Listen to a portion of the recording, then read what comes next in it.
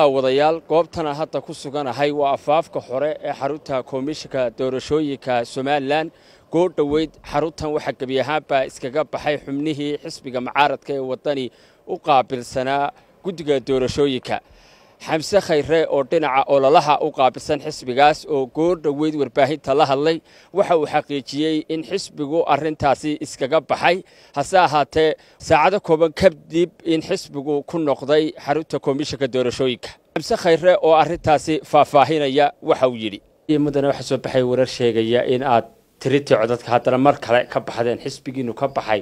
Warkaasi ma jira kabixid rasmi may jirin hakin baa jirtay galabta shantii.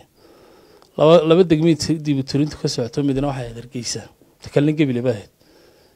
Markaa laba qadiyadood oo kala duwan bay ahaaneen hargeysa. Intan dee la tirinay waxbaa la isku yar qabanaya. Markaa inamada way yar deedna wixii isafgarad baa laga gaadhay dib ba ugu noqdeen haddana. Iminka markaa way socotaa ma odhan karo oonu ka baxnay hakin kooban baa jirta. Gebiley iyada anigaaba joogay oo dee xoogaal ahaa yani markii hore iyada waxaa dhacday sagaal goobood oo markii hore aanu ka maqnayn markii gebile lagu tirinayay oo intii aanu ka soo baxnay la tiriyey ayaa lagu celiyey sagaalkii markay dhammaadeenee tiradii dhammaatay si wacan ay u dhammaatay waxaanu dee sidii xisbiga iyo commission ku heshiiyeen in baadhistii lagu samey sanaadiiqdii deedna mas'uuliyiintii commissionka waxay yidhaahdeen war nimayo sagaalkan baa la dhamaystiray baadhis kaloo lagu sameynayay ma jirto. Annana waxaanu ku nidhi heshiiskanu galnay wuxuu ahaa in sanaadiiqda maadaama deegaan lagu tirin karo oo ammaana ama wacanoo ku habboon tirintaanu ka dhicin marka horeba ka cabanay waxaanu u joojinay sababii haanu u joojinay marka horeba way yaalaan. Marka waanu idinla dhammaystiraynaa sagaalkii waanu la dhammaystirnay baaqiga ahaa baadhistii tiradaa sanaaduuda ah lanoo baadhaan nidhi iyaguna waxay dhahdeen heshiisku saamu ahayne waxaa la dhammaystiraya un intaa hore ee xaggaa baaqiga ku ahayd dee intaanana waxanu halkaaba waanu ku soo dhammaystiri lahay.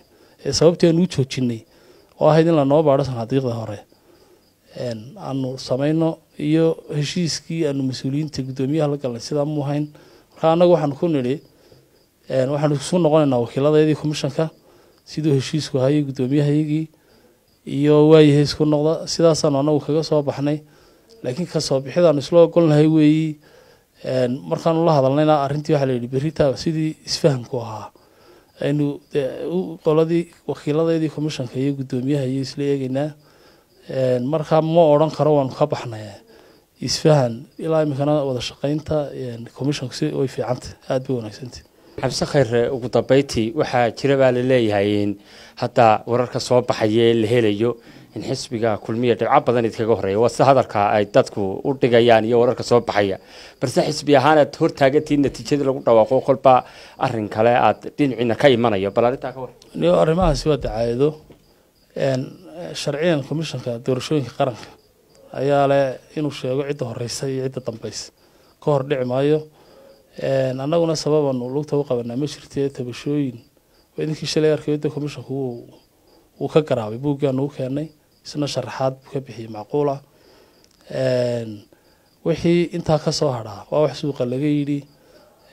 Waanan dedafeynaya commishanka qaranka doorashooyinkunbaa xaqu inuu sheegay cidda horeysa cidda dambeysa aniguna ka faalloon maayo arrintaa imika. Waa markii labaad ee xisbiga mucaaradka ee waddani uu gebi ahaan iskaga baxo qaabka ay u socoto tirinta guddiga doorashooyinku waxaana xusid mudan in bulshada somalilan si weyn ugu dhegtaagayso wakhtiga rasmigaa ee natiijada lagu dhawaaqayo walow wararka qaar. Telefishinka soo gaaraya ay sheegayaan in habeen dambe arrintaasi soo afjarmayso. Hase ahaatee xisbiga mucaaradka ee waddani oo mas'uuliyiin badanaan kala xidhiidhnay waxay sheegeen in weli tirintu socoto oo aanay maalimahan aanay dhammaanaynin. Wixii warara ee ka soo kordha waxaa kala socon doontaan telefishinka ariel betri kosaar hargeysa